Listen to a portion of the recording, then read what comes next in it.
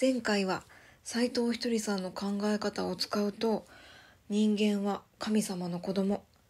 だから神様の子供である私も YouTube を聞いてくれているあなたも優しい人間なんですよ。っていうところまで話しましたね。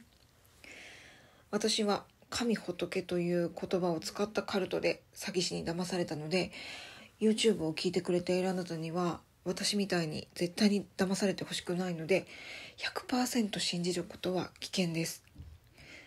この話も怪しいなって思いながら聞いてくださいねって前回も言いましたよね。それはそれでいいんです。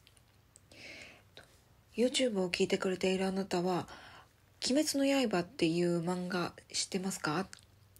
その漫画の中に「鬼仏寺無惨」っていうもうすっごいすっごい悪い鬼が出てきます。で本当にもう1ミリも同情する余地もない。本当に私この鬼仏寺無惨悪いなって思うんですけどそんな鬼仏寺鬼仏寺無惨のような毒父さん毒母さんが親だっていう考え方で自分は冷たいサラブレッドと思って絶望するのは自分に冷たい考え方です。私もずっとそう思ってきたので本当に自分に冷たかったです。それよりも人間は神様の子供本当の親は神様なんだと思った方がいいですよね。その方が元気になりますよね。